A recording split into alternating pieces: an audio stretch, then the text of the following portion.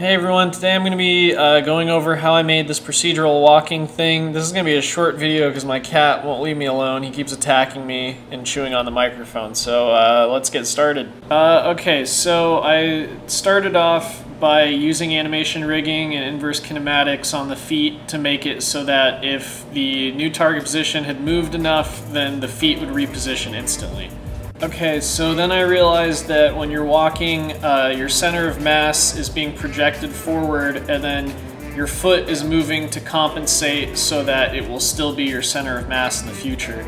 So in two dimensions, that just turns into a box. So I started off with just projecting a box under the character that had the width of his stance and um, the depth of, you know, what the spacing between foot would be.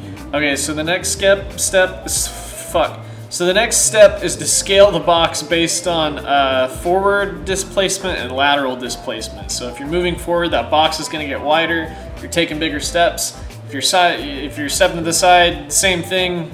Okay, now we're going to use our scaled velocity to change the center of the box. So now we're actually projecting it out to where our center of mass and stability points will be in the future, which is, you know, what I said a few seconds ago when I showed the video of me walking. Okay, so um, using debug.drawbox has its limitations, so I opted to use debug.drawline to show all of the corners directly. They're not scaled with rotation yet, but now we can see where each of our individual corners is, uh, which is going to come in handy later. Okay, so now we create a uh, mapping function based on the player velocity that tells uh, tells it which foot needs to move forward based on the direction that you're moving. So obviously if you're stepping sideways, your foot is not going to go into the same spot in the square as it would if you're moving forwards. And if you're moving backwards, it's going to go to the back of the square instead of the front of the square. So that's what this mapping function does. Okay, now I'm just adding a little bit of animation um, and horizontal or vertical displacement to the foot movement, which uh, I'm getting ahead of myself here. I probably shouldn't have done it this early. Okay, so then I added some black spheres to show um, where the new target position is going to be. So you can see black sphere appears, and then the other spheres, the translucent red and blue spheres, start uh, interpolating towards it. Here, this is just after some fine tuning to make things move a little bit better. The feet have their own very basic scripts that uh, take the target position and then height adjust it with raycast, so uh, you can walk upstairs and stuff, and they will, you know, sit on the stairs and not be awkward and like hover the next step was to make sure that the box rotated and still uh, would pass all of the checks and mappings, which that was a huge pain to deal with.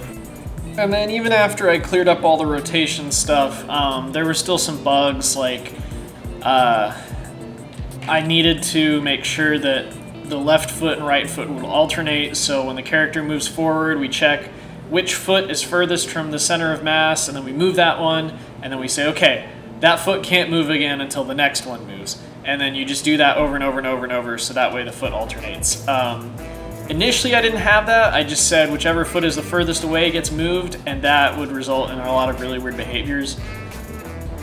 I also made it so that when you rotate in place like this, your feet will move to compensate, and uh, I don't stop moving around so you don't see it in this clip, but if you stop, uh, your feet will move into the most stable configuration uh, one at a time, so it looks good. Um, it took me a couple of days. It was a lot of fun. I got to learn about Unity's animation rigging stuff. Um, I just did it because I didn't want to hook up, you know, like four or eight different animations uh, for a character like holding a gun. So this is just an idle pose with, you know, his legs are moving. Uh, but yeah, code's all on GitHub. It's really messy, but I think it's kind of a neat, um, it's like a neat, fun proof of concept type thing. All right, thanks for watching.